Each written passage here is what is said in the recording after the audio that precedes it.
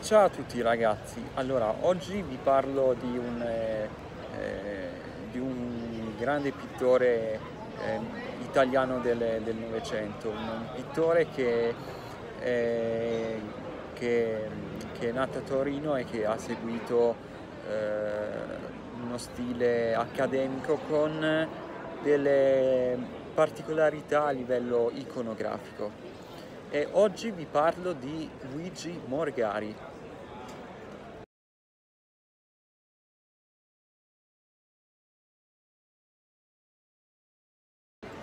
Allora, eh, Luigi Morgari è stato un, eh, un, pittore italiano che è nato a Torino nel 1857. Eh, è importante sapere che Luigi Morgari eh, nacque da una famiglia di, di, di artisti.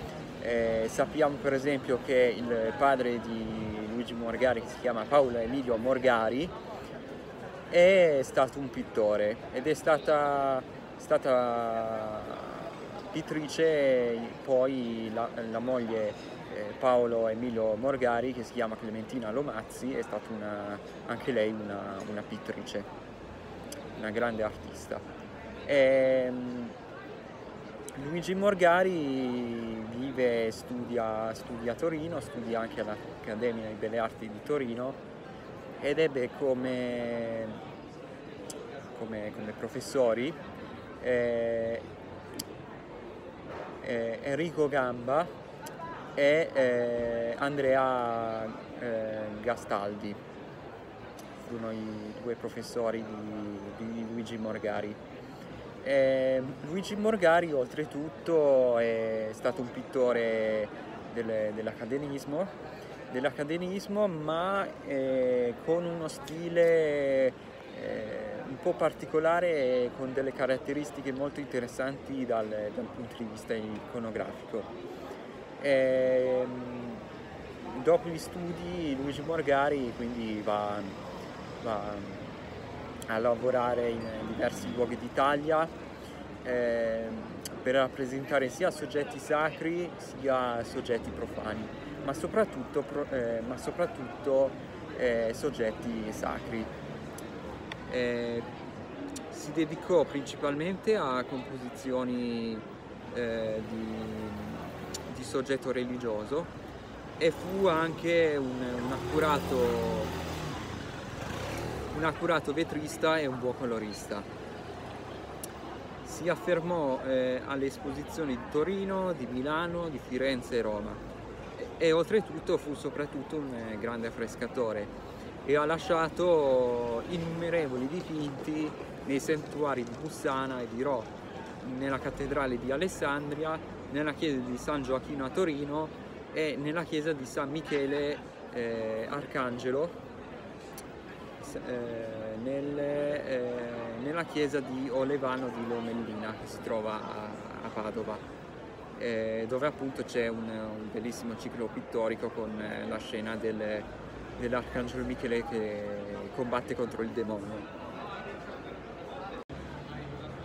Ecco, Luigi Morgari rimane comunque con uno stile accademico, però ha una particolarità che è proprio tipica di Luigi Morgari e di pochi artisti, eh, che è questa. Luigi Morgari eh, rappresenta se, se parliamo del, di una semplice rappresentazione così, non so, del, una, un'attività, un, una rappresentazione al tempio, una, una crocifissione, eccetera, rappresenta i personaggi in primo piano e rappresenta anche dei personaggi secondo o terzo piano massimo.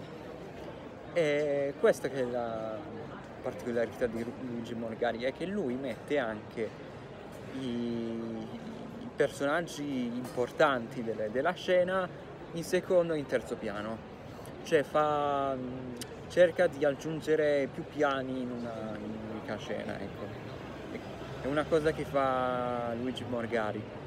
E, questa caratteristica lo vediamo per esempio nel, nella crocifissione che si trova nel, nella chiesa di, di San Gregorio a Milano, che è una crocifissione particolare perché come vedete, ecco, questa crocifissione è stata realizzata intorno agli anni, eh, agli anni 20 del, del Novecento. Eh, Luigi Morgari fa questa crocifissione, fa, il, ehm, fa, la scena degli angeli che spengono le, le fiamme del purgatorio e poi eh, nella scena a destra fa, eh, realizza invece la, la scena del, della resurrezione della carne. Delle, della carne. E, tra l'altro in questo, in questo affresco si, si, può intravedere da lontano, anche in secondo in terzo piano, il lazzaretto di Milano come era una volta. E, e niente, lì nella crocifissione i personaggi come eh, il centurione e gli altri soldati eccetera sono rappresentati in secondo piano. Eh, una, parti- una, cosa particolare è che Luigi Morgari nel dipinto eh, delle, dello spegnimento delle, delle, fiamme del purgatorio è presente un'immagine, è presente un'immagine, eh, è presente un'anima del purgatorio che assomiglia molto a un, eh, a un personaggio del, delle scene dell'Apocalisse di Luca, di, di Luca Signorelli. E, ehm, il ciclo di Luca Signorelli si trova, si trova a, nel, nel Duomo di Orvieto. Ecco, questo è il collegamento.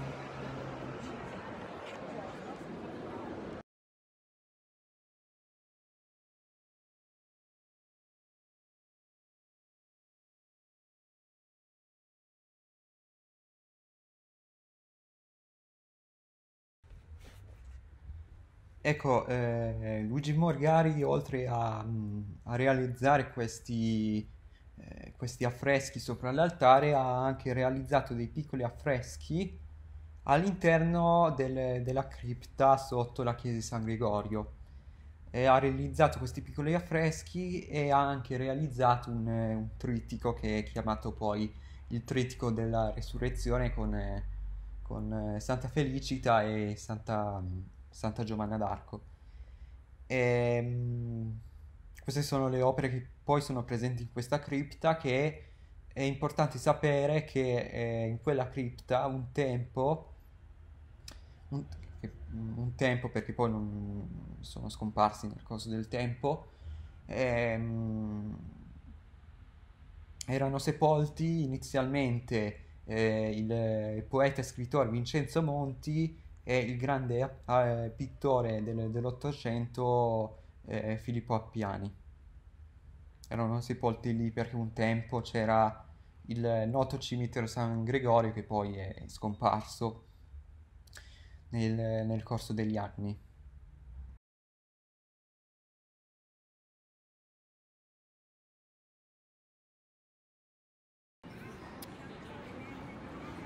Poi eh, Luigi Morgari fece delle, delle, degli affreschi, dei dipinti anche nei palazzi della famiglia Quartana a Genova, a San Luca d'Albaro e eh, nella chiesa di San Siro a Lomazzo, in seguito riprodotti anche a Tirano. Eh, poi Luigi Morgari, eh, oltre a lavorare a Genova, lavora in ehm, varie parti della, della Liguria come Imperia, come Rapallo e come Santa Margherita Ligure. Una cosa interessante da sapere è che per esempio nel 1919 affrescò la chiesa parrocchiale della Santissima Trinità San Bastiano a Gradella, mm, che è una frazione di Pandino, con un ciclo dedicato a San Bastiano che San Bastiano è stato poi il primo vescovo della diocesi lodigiana. Ragguardevoli oltretutto sono le formelle di santi ed evangelisti e le due cappelle laterali, una dedicata a Sant'Eurosia e l'altra alla Madonna del Rosario. Va comunque ricordato che eh, negli anni del, in cui Luigi Morgari fece gli affreschi a San Gregorio a Milano, nel 1922-1923 affrescò la, mm, la parrocchia di, cioè la chiesa parrocchiale di Cortazzone con un San Secondo a cavallo e sulla volta San Siro benedicente il paese. Tra tutti i suoi interventi spiccano oltretutto gli affreschi della Basilica Romana, minore di San Niccolò a Lecco, realizzati tra il 1925 e il 1928. Ecco, mm, adesso vi parlo di un eh, dipinto abbastanza particolare di Luigi Morgari che ha la stessa caratteristica come eh, nel dipinto che vi ho parlato eh, precedentemente che, che, è la crocifissione dove ha il, il, mm, il, secondo e il terzo piano, anche in questo dipinto c'è la questione del secondo e il terzo piano. E questo dipinto che vi parlo è, la, la, è l'adorazione dei re magi. Dunque in questo dipinto, come, come vedete, eh, c'è il classico Madonna col bambino, il, eh, il San Giuseppe, i, i, pastori e in secondo piano, ed è lì la cosa particolare di questo dipinto, in secondo piano ci sono i tre re magi. I tre re magi è addirittura una cosa particolare che difficilmente si, si vede nei dipinti, è, è la presenza di un elefante. Allora, questa natività del 1928 è conservata attualmente nella chiesa di San, di San Martino a Tirano e eh, come vedete in questo dipinto il cartiglio in alto eh, riporta la dicitura Vitimus Stellam Eius in Oriente. E già da lì si comprende che, mm, che si sta parlando dei tre re magi giunti dall'Oriente. E appunto l'intera opera eh, del Morgari è intitolata L'adorazione dei re magi.